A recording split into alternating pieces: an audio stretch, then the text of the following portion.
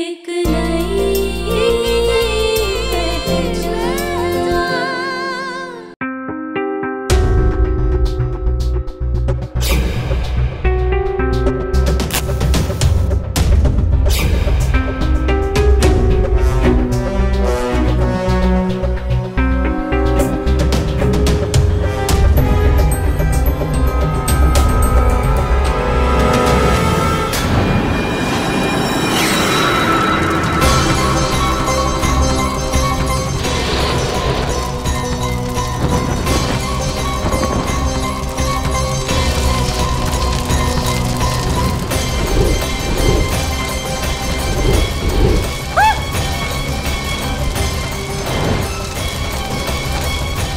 God आग तो हर तरफ़ फैल गई है अब मैं बाहर कैसे निकलूं?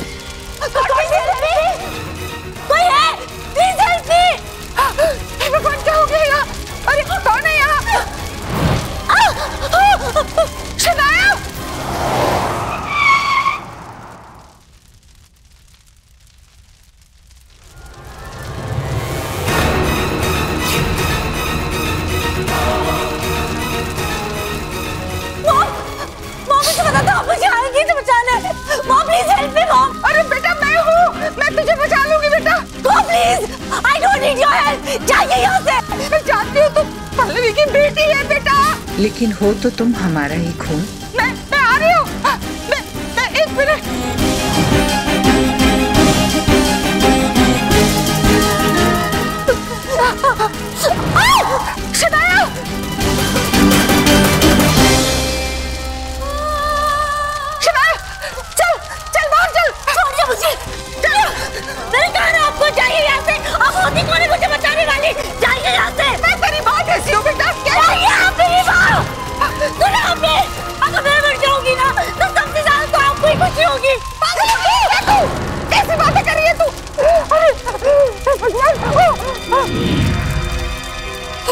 अरे बेटा तो डर मत मैं हूँ तेरे साथ!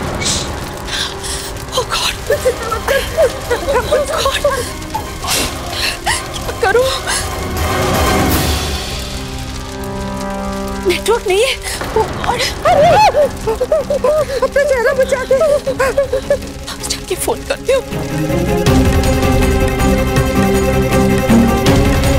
हेलो फायर ब्रिगेड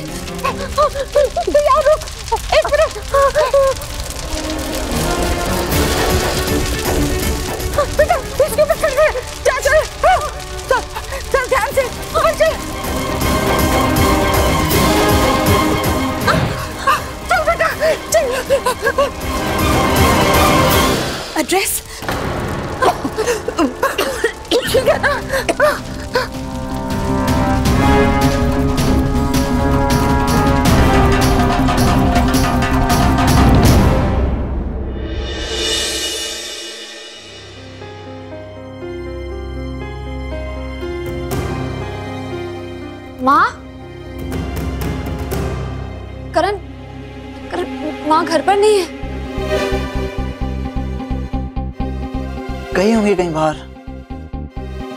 अरे ऐसे कैसे चली गई हो? कितना काम करती हो उन्हें आराम करना चाहिए ना। माँ? मॉम? माँ? हाँ अबे चल यहाँ बैठ जा मॉम? माँ माँ ये सब क्या हुआ आपको? फैक्ट्री में आग लग गई। फैक्ट्री में आग लगी थी? हमने फायर ब्रिगेड बुलाई है और पुलिस को भी बुलाया है। माँ ये सब कैसे हुआ? मैं डॉक्टर को फ़ोन करके आता हूँ। मैं मैं पानी लेकर आती हूँ। माँ आप, आप ठीक तो है ना? साक्षी बेटा तू इसकी माँ को फ़ोन कर दे। पानी। ले बेटा। मॉम मैंने डॉक्टर को बुला लिया है बस आती ही होंगे। लेकिन ये सब हुआ कैसे? बेटा वो मैं किसी काम से फैक्ट्री गई थी। वहाँ पहुँची तो देखा कि फैक्ट्री में आग लगी हुई है और शनाया वहाँ फंस गई है। भगवान का लाख लाख शुक्र है कि इस बच्ची को कुछ नहीं हुआ। चोट तो नहीं लगी तुझे? आप लोग पीछे हटिए प्लीज़ मुझे देखने दीजिए। डॉक्टर साहब। किसको चोट लगी है? इन्हें ये देखिए इसे यहाँ पे और यहाँ लगे। ज़्यादा जला नहीं है, खरोंचे आई हैं। मैं पट्टी कर देता हूँ।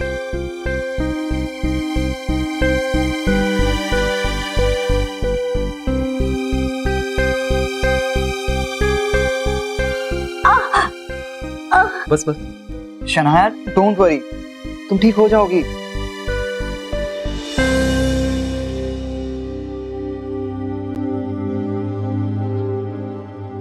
शनाया मैं तुम्हारे पेरेंट्स को बुला दूँ? कहाँ रहते हैं वो लोग? अब वक्त आ गया है कि करण इस सच को जान ले कि शनाया के पेरेंट्स कौन हैं।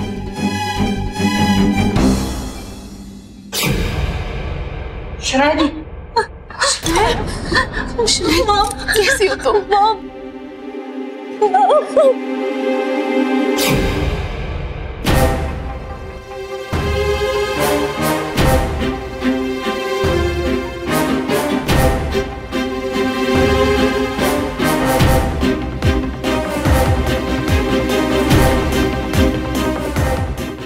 शनाया पल्लवी की बेटी? Don't worry you'll be fine जल्दी ठीक हो जाएगा। मैं शहर के बेस्ट डॉक्टर्स को दिखाऊँगा। कुछ नहीं होगा तुम्हें। आप में से शारदा जी कौन है? जी मैं शारदा। शारदा जी मुझे आपका स्टेटमेंट चाहिए। एक मिनट इंस्पेक्टर आप ये काम बाद में भी कर सकते हैं। देखिए आपको हमें थैंक्स कहना चाहिए। कि हमने स्टेटमेंट के लिए आप लोगों को पुलिस स्टेशन नहीं बुलाया। और आप आपके पड़ोसी ने बताया कि आप दोनों वहाँ थे जहाँ फैक्ट्री में आग लगी थी। जी। आपको किसी पे शक है? जी नहीं इंस्पेक्टर साहब। कि, किसी पे शक नहीं है हमें। फैक्ट्री में आग लगी कैसे? और आप दोनों में से पहले देखा किसने?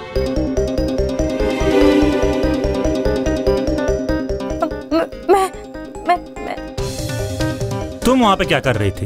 वो मैं मैं अपना मोबाइल भूल गई थी वहाँ पे। फिर क्या देखा तुमने वहाँ पे? मैं वो इंस्पेक्टर साहब दरअसल गलती मेरी है। वो वो क्या है ना मैं अ, शायद गलती से जलती हुई मोमबत्ती फैक्ट्री में छोड़ आई थी। जब मुझे याद आया तो मैं वहाँ वापस गई देखने के लिए पर तब तक आग फैल चुकी थी और शनाया वहाँ फंस गई थी। तो मैंने उसे बचा लिया।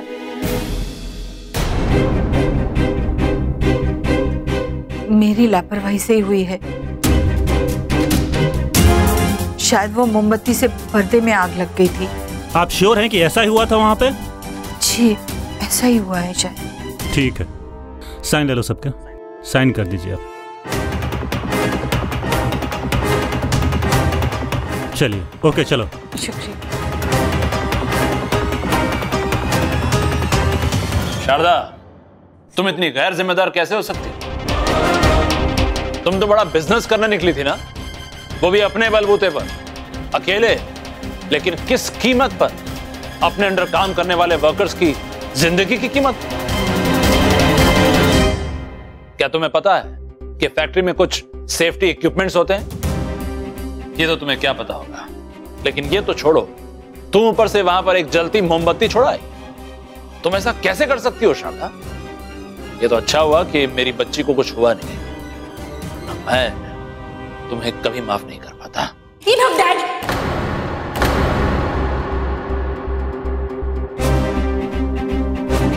अब आप शारदा मैम से एक शब्द भी नहीं कहेंगे। क्या कह रहे थे आप हाँ? कि शारदा मैम इरिस्पॉन्सिबल है। और आप, आपने क्या किया हमारे साथ आज तक? बोलिए, जवाब दीजिए। आज अचानक आपको अपने बच्चों की याद आ गई। अचानक उनका दर्द महसूस होने लगा आपको। Dad you are hypocrite Sharda ma'am की कोई गलती नहीं है। इनफैक्ट आज अगर शारदा मैम सही वक्त पर नहीं आती ना तो मेरी जान जा सकती थी।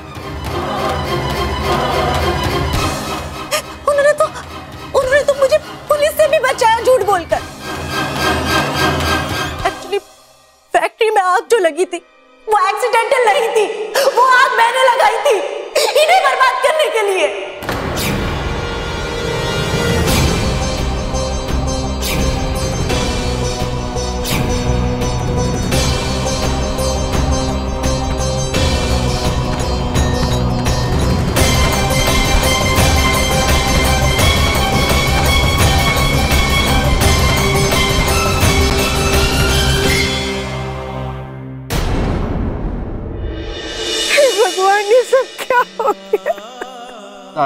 माँ बिल्कुल ठीक है। मेरी अभी अभी उनसे बात हुई है।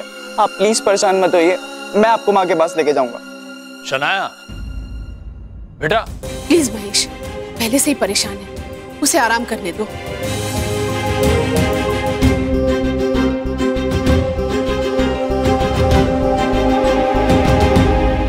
ये सब तेरी वजह से हुआ है। तेरी वजह से मेरे हँसते खेलते घर में आग लग गई। तेरे कर्मों का फल हमें भुगतना पड़ रहा है।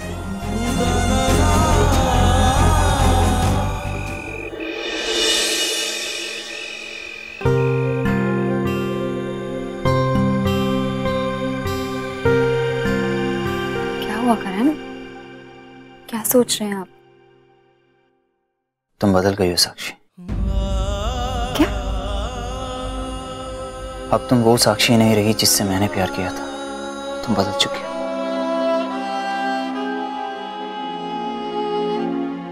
ये आप क्या कह रहे हैं? मुझे कुछ समझ में नहीं आ रहा। तुम तो कभी मुझसे कुछ नहीं छुपाती थी। फिर इतनी बड़ी बात कैसे छुपाई? कि शनाया पल्लवी की बेटी तुम्हें क्या लगा कि मैं इतना वीक हूँ कि इस बात को हैंडल नहीं कर पाऊँगा? नहीं करण सच में ऐसी कोई बात नहीं है। मैं जानती हूँ आप बहुत स्ट्रांग हैं। मुझे माँ ने कसम दी थी। इसलिए मैंने आपको नहीं बताया। उन्हें लगा कि अगर आपको पता चलेगा तो आप शनाया को फैक्ट्री में काम करने नहीं देंगे। और माँ ऐसा नहीं चाहती। थी वो चाहती थी कि शनाया फैक्ट्री में काम करे। इसका मतलब मॉम को भी यही लगता है कि मैं इतना वीक हूँ कि वो मुझसे अपनी कोई प्रॉब्लम शेयर नहीं कर सकती। तो मैं फिर आखिर हूँ किस काबिल? ना तुम लोगों की जरूरतें पूरी कर सकता हूँ और ना ही तुम लोगों की कोई प्रॉब्लम शेयर कर सकता हूँ। करण ऐसे मत बोलिए।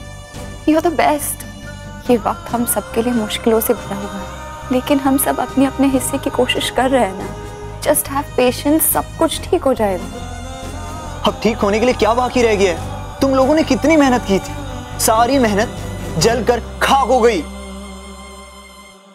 आपको पता है करण, जब से माँ मेरी ज़िंदगी में आई है ना, तब से मुझे पूरा भरोसा है कि चाहे ज़िंदगी में कोई भी मुश्किल आ जाए, अंत में सब कुछ बिल्कुल ठीक होता है।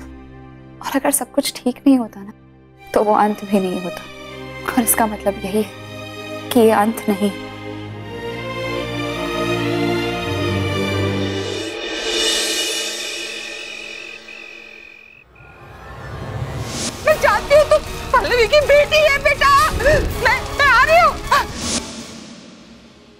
आपको किसी पे शक है?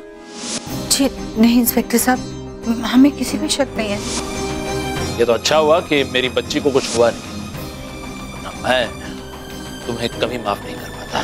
नहीं! किसी का कोई हक नहीं बनता कि वो शारदा से कुछ कहे। क्योंकि शारदा सिर्फ़ मेरी और मेरे मोम की गुनेगार है।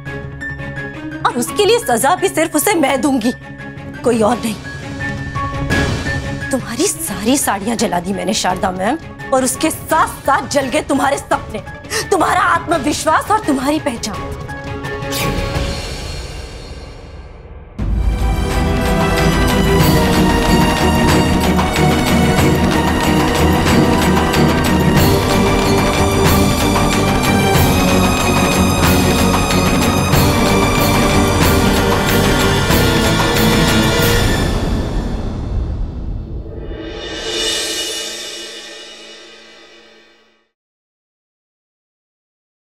माँ ये क्या आपको लग गई? बस थोड़ा सा कल लग गई मुझे। बस थोड़ी बताया क्यों नहीं?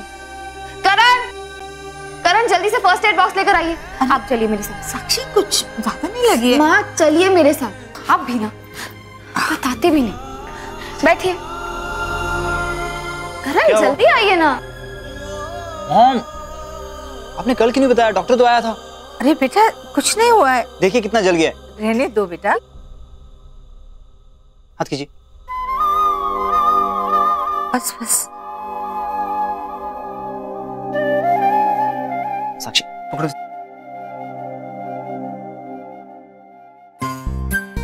अरे ये आप कैसे कर रहे हो? तुम पहले नर्स थी क्या? नहीं नहीं नर्स तो आप थे। अच्छा सीधे से लगाओ उसे। अरे आप कैसे लगा रहे? टेढ़ा मेढ़ा मत लगाइए प्लीज़ आपकी वजह से माँ को दर्द भी हो रहा है। ऐसे करो ऐसे करो। रहने दो बेटा मैं कर लूँगी तुम अरे नहीं नहीं हम कर हम कर लेंगे मॉम। हम हम करते हैं।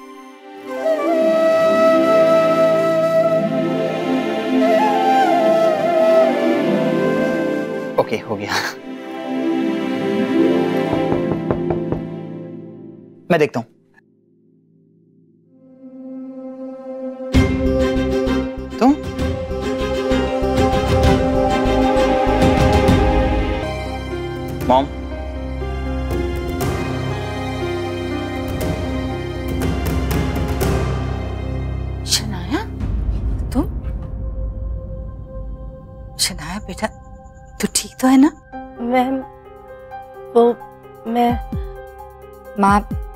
मैं खाने की तैयारी करती हूँ।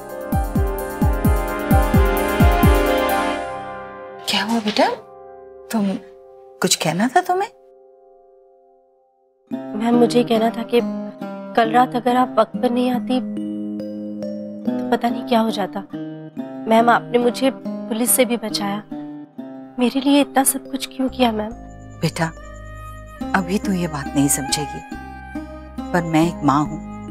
और एक माँ अपने बच्चों पर आ जाते हुए नहीं देख सकती। मैम आई एम सॉरी चल रहने दे इस बात को। वैसे बच्चों से गलती हो जाती है।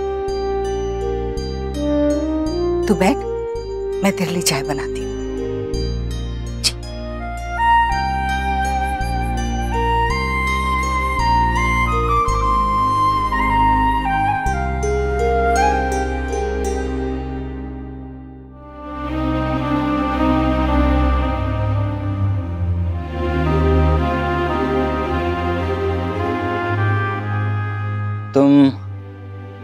सच में सॉरी फील कर रही हो या? ये कोई नया नाटक है? तुमने कल डैड को सुनाया तो बहुत कुछ लेकिन मैं यही नहीं समझ पा रहा हूँ कि तुम इतनी मच्योर कैसे हो सकती हो। एज क्या है तुम्हारी? It's none of your business पता है तुम उस छोटी सी बच्ची की जैसी हो। जो अपनी पढ़ाई पूरी किए बिना स्कूल से डर के भाग जाती थी। एक्सक्यूज मी मैंने अपना कॉलेज पूरा किया है और मैं कोई डर वर के नहीं भागी हूँ। पूरी कॉलेज में मैं फ़र्स्ट आई थी। अच्छा मतलब तुम छोटी नहीं बड़ी हो गई। हाँ। लेकिन समझदार नहीं हुई हो?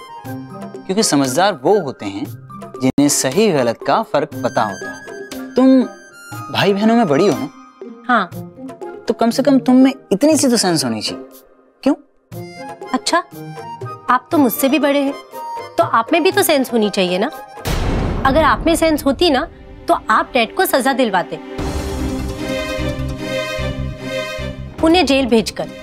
और अगर आप उन्हें जेल भेजते ना तो तो ये सब कुछ नहीं होता जो हो रहा है। डैड के अगेंस्ट कंप्लेन तुमने की? और मॉम के कहने पर मैंने उनकी बेल करवाई। यस डैड के अगेंस्ट कंप्लेन मैंने की। थी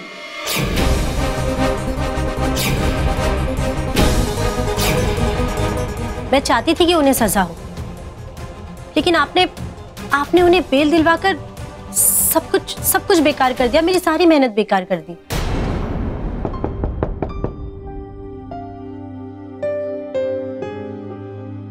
जी? जी मैं मीता जी के ऑफ़िस से आया हूँ। ओके आइए ना। मॉम लोग मीता जी के ऑफ़िस से। जी मैं वो ऑर्डर की साड़ियाँ लेने आया हूँ। वैन बाहर है। आपने तो सारी साड़ियाँ जल गई शारदा जी क्या करेंगी?